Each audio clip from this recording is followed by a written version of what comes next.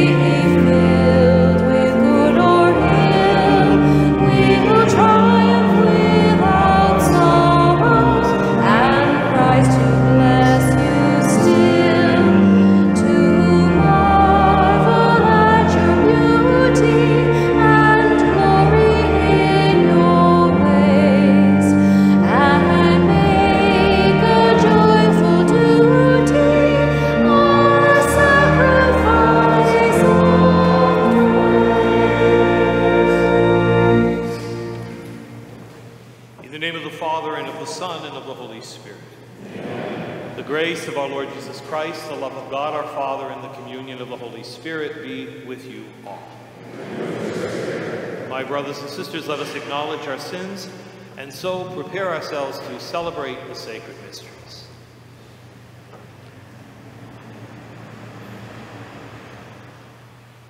You were sent to heal the contrite of heart. Lord, have mercy. Lord, have mercy. You came to call sinners. Christ, have mercy. Christ, have mercy. You are seated at the right hand of the Father to intercede for us. Lord, have mercy. May Almighty God have mercy on us, forgive us our sins, and bring us to everlasting life.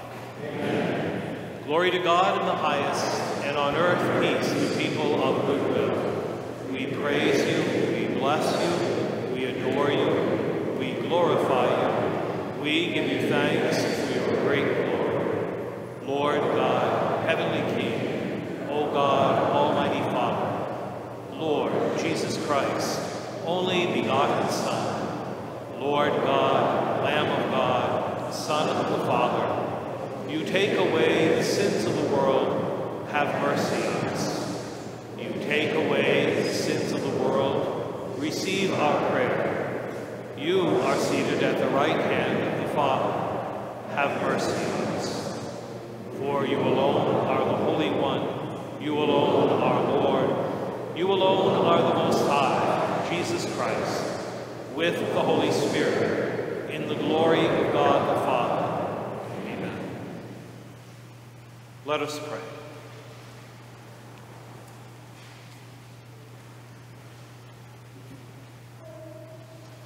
O God, who prepared for those who love you good things which no eye can see, fill our hearts, we pray, with the warmth of your love, so that loving you in all things and above all things, we may attain your promises which surpass every human desire. Through our Lord, Jesus Christ, your Son who lives and reigns with you in the unity of the Holy Spirit, God, forever and ever.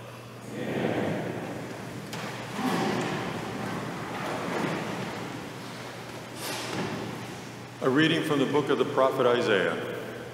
Thus says the Lord, Observe what is right, do what is just, for my salvation is about to come, my justice about to be revealed.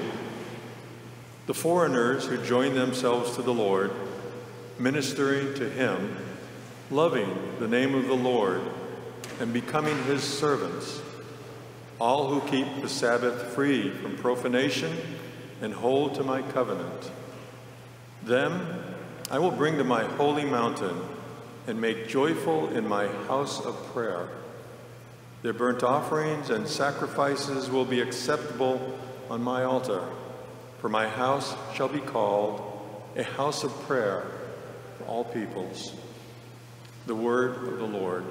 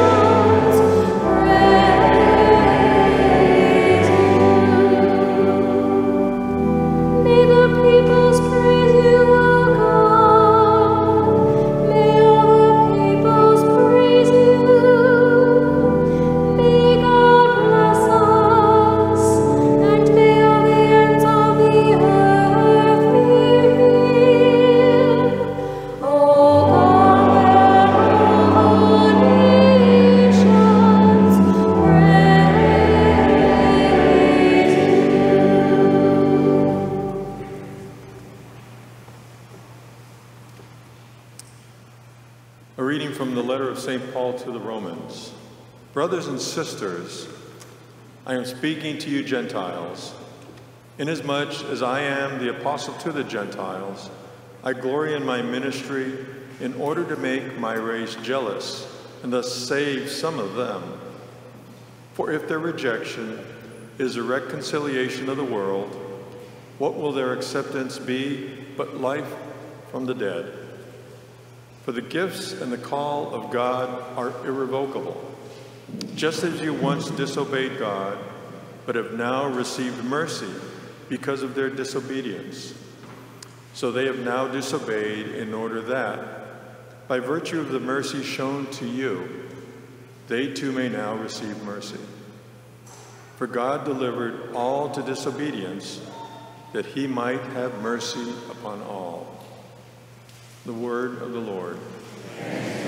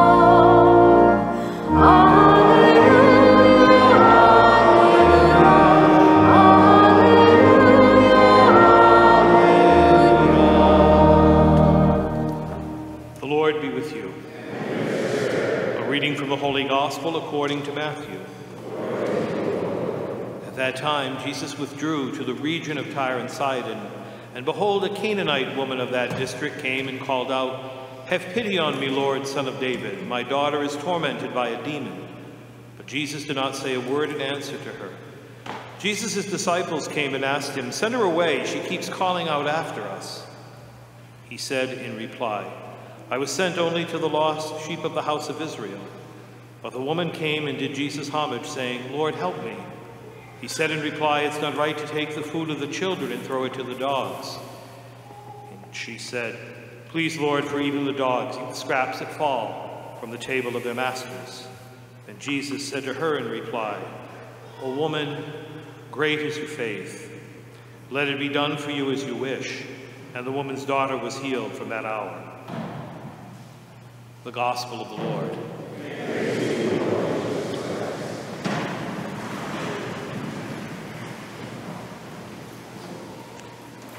One of the ones was in the inner circle, part of the club, one of the boys.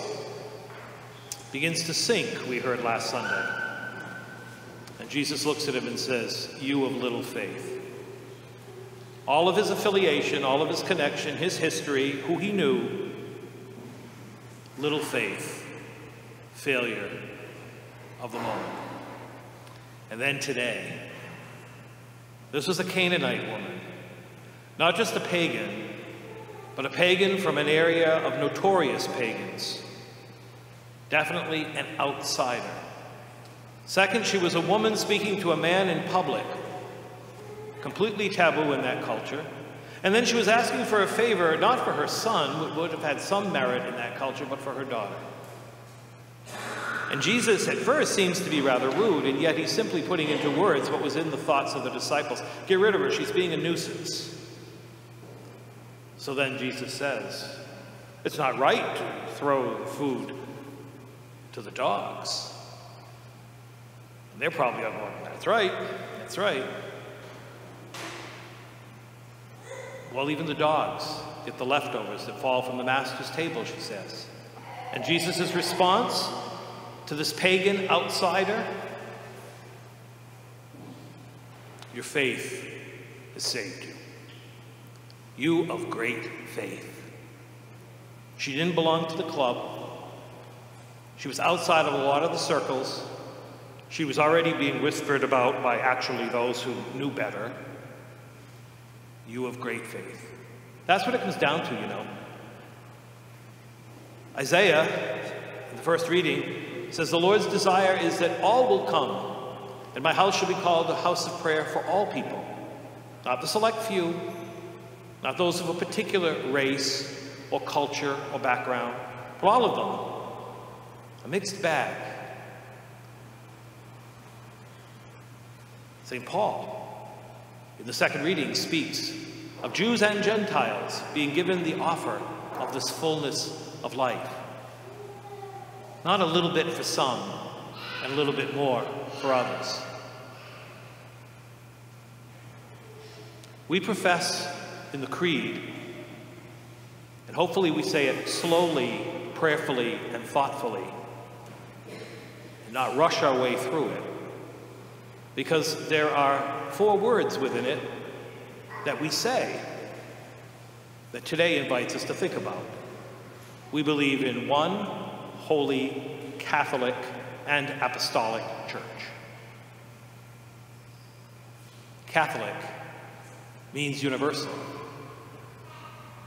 means this house for all peoples, means that no, there is not the outcast who doesn't get invited to know the mercy, to know the healing, because they haven't been long enough. In my own life as a priest, I have had my own faith greatly stirred up and inspired. Not by self proclaimed lifelong Catholics who pride themselves in their devotional lives and their practices, but by those who were very far away from that, but who honestly looked at what the Lord could do in their life, began with the humility of repentance And whether it be through RCIA or returning Catholics, or young people who faithfully live out the faith that their parents never brought them up in or treated as surface. That's where the inspiration comes from nine times out of ten. Those that would be, I guess, considered by some who want a label on the outside. Like it or not, we're Catholic, universal. That means all. The scriptures today invite us to ask, how wide is my embrace? What can I learn from the most unlikely?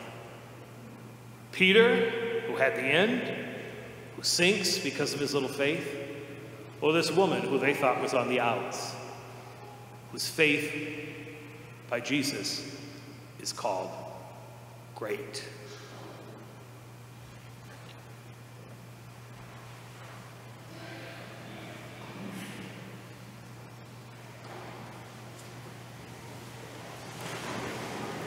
I believe in one God, the Father, the Almighty, maker of heaven and earth, and of all things visible and invisible. I believe in one Lord, Jesus Christ, the only begotten Son of God, born of the Father before all ages, God from God, light from light, true God from true God, begotten, not made, consubstantial with the Father. Through him all things were made. For us men and for our salvation, he came down from heaven, and by the Holy Spirit was incarnate of the Virgin Mary, and became man. For our sake, he was crucified under Pontius Pilate. He suffered death and was buried, and rose again on the third day, in accordance with the Scriptures. He ascended into heaven, and is seated at the right hand of the Father. He will come again in glory to judge the living and the dead, and his kingdom will have no end. I believe in the Holy Spirit, the Lord, the giver of life, who proceeds from the Father and the Son, who with the Father and the Son is adored and glorified, who has spoken through the prophets. I believe in one holy, Catholic, and Apostolic Church. I confess one baptism for the forgiveness of sins, and I look forward to the resurrection of the dead and the life the world to come. Amen. Rejecting all forms of exclusivity, we bring our prayers to the Father, embracing all, trusting in his mercy. For deep appreciation, reverence, and love to characterize our coming to this house of prayer, and be a tangible witness to our faith in His real presence here and the setting for authentic, joyful, and loving worship always. We pray to the Lord. Lord, hear our prayer. For our Holy Father, our Bishop, our pastor, and all shepherds to never take for granted the great gift of their call to pastoral service in the church, and to be ever mindful of their accountability to God for their ministry of word and sacrament, we pray to the Lord. Lord, hear our prayer. That we may all strive to consistently observe what is right and do what is just in every aspect of our life, we pray to the Lord. Lord. That realizing how much we have been given, without it being earned or deserved, may lead each of us to greater attentiveness to opportunities to share our time, talent, and treasure. We pray to the Lord. Lord.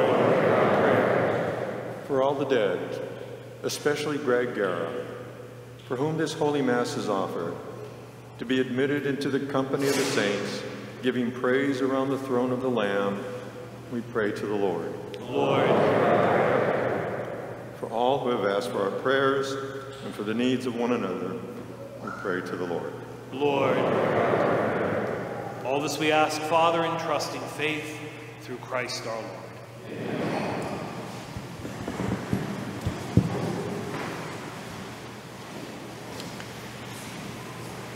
Please join together in singing number 525, You Are the Healing, number 525.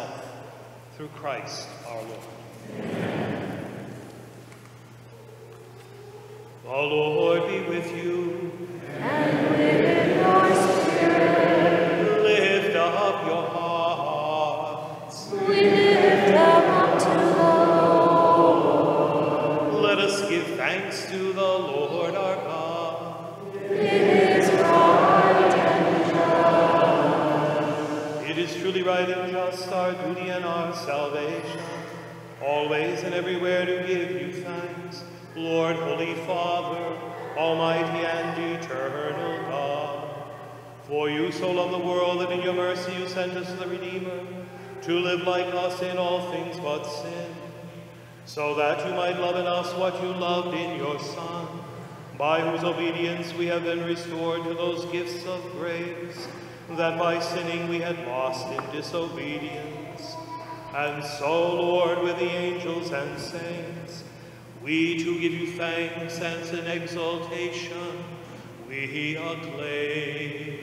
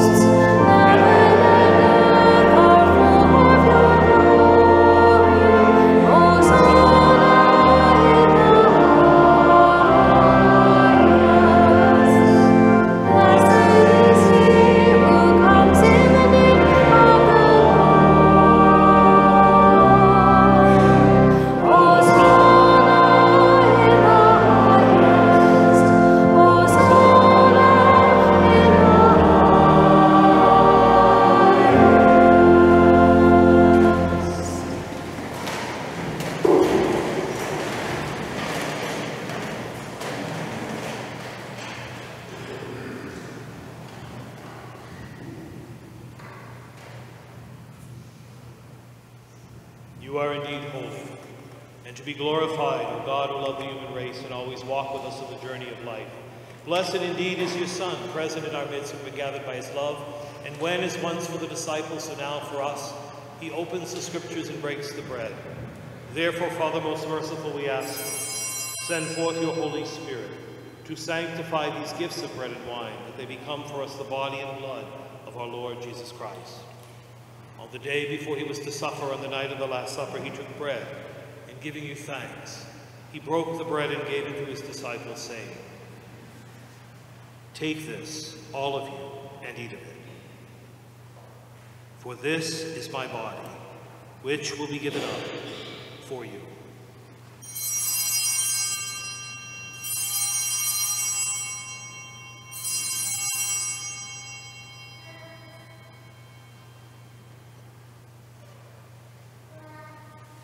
In a similar way, when supper was ended, he took the chalice and once more giving thanks, gave the chalice to his disciples, saying, Take this, all of you, and drink from it, for this is the chalice of my blood, the blood of the new and eternal covenant, which will be poured out for you and for many for the forgiveness of sins. Do this in memory of me.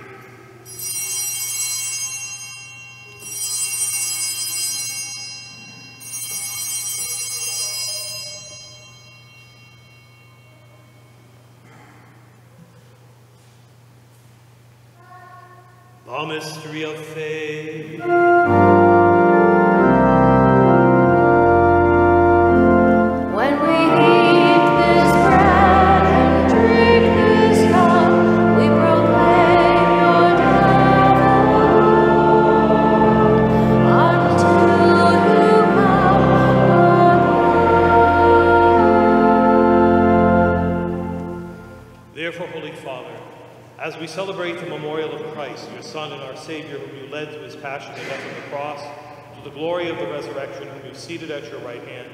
We proclaim the work of your love until he comes again and offer you the bread of life and chalice of blessing.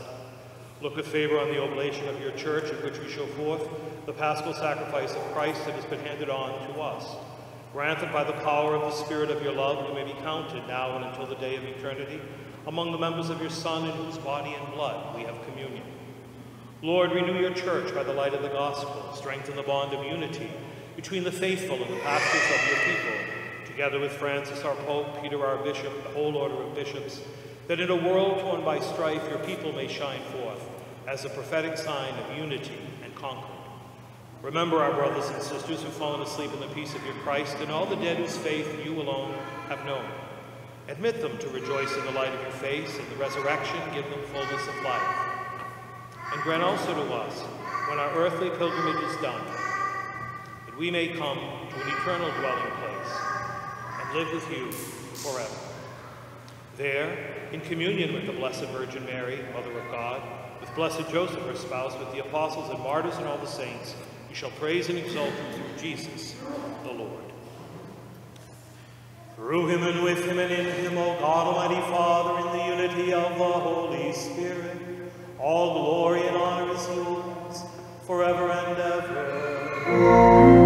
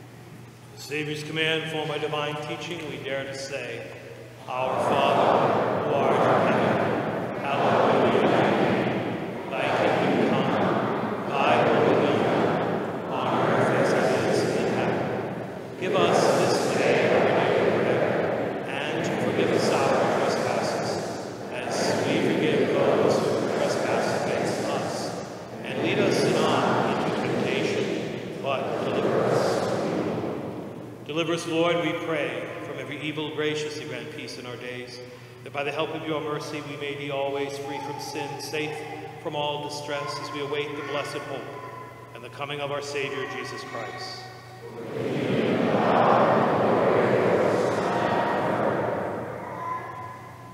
Lord Jesus Christ, you said to your apostles, Peace I leave you, my peace I give you. Look not on our sins, but on the faith of your church.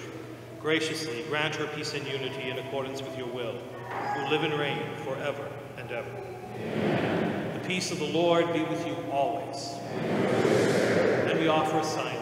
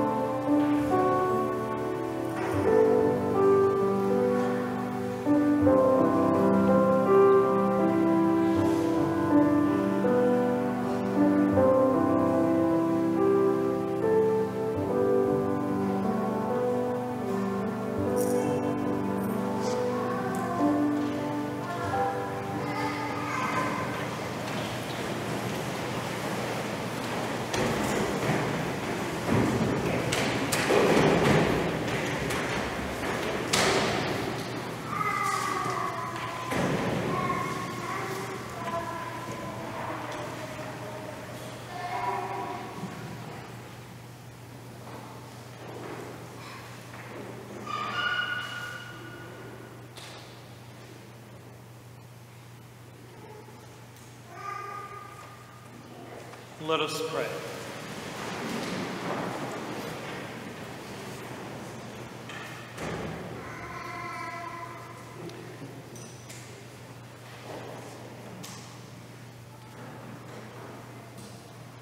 Made partakers of Christ through these sacraments, we humbly implore your mercy, Lord, that, confirmed to his image on earth, we may merit also to be co-heirs in heaven through Christ our Lord. Thanks to those who joined us for movie night this week. It was a wonderful opportunity for families with teens.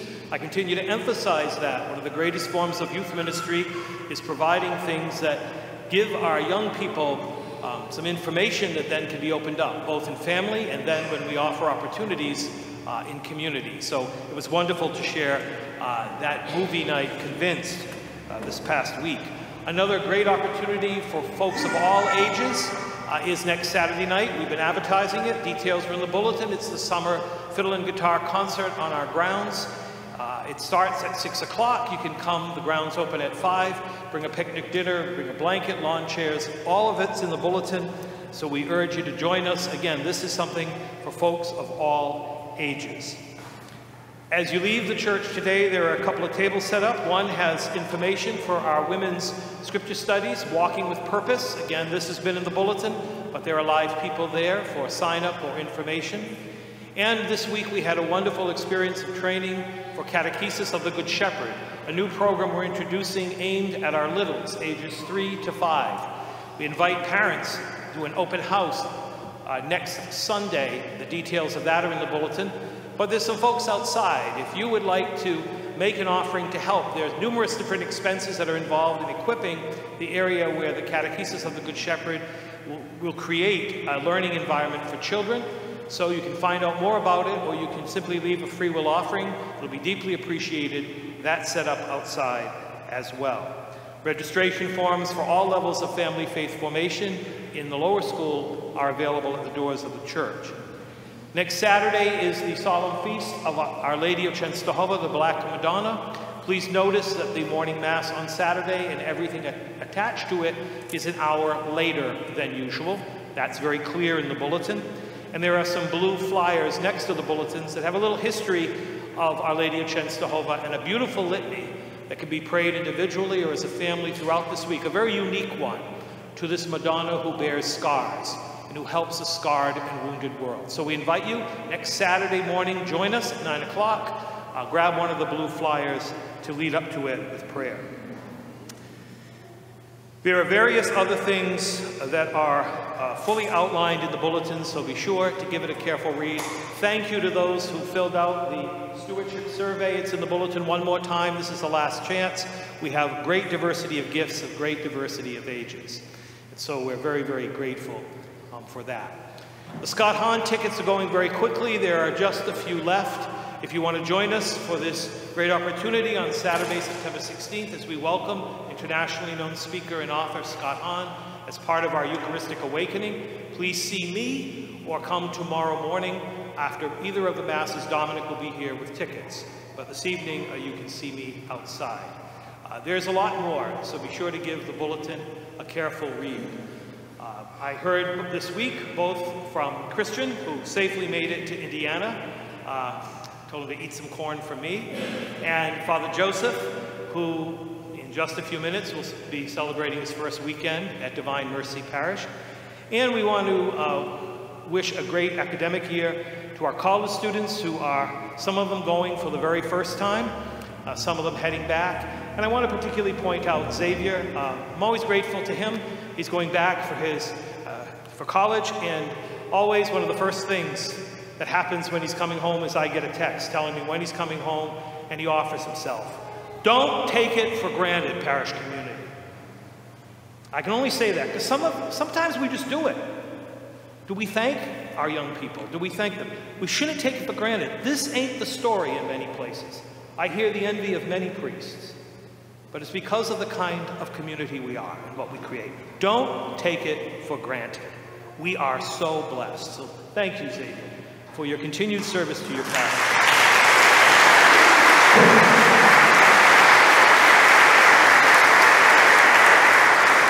And there's a whole new lineup as well. Um, among them, a young man who received his first communion and confirmation. Um, he's going to be 15 years old.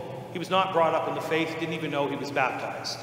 On his own initiative, he explored our faith. I confirmed him right here last May. He's going to start training to be a server. That's what this gospel is talking about. Those who we think are on the outs, which actually teach us what it means and to appreciate, to be within. All of us in the heart of Christ. The Lord be with you. May Almighty God bless you, the Father, the Son, and the Holy Spirit. Forth to glorify the Lord by your life. Please join together in singing number 629, Lord whose love in humble service, number 629. We will sing verses 1, 3, and 4.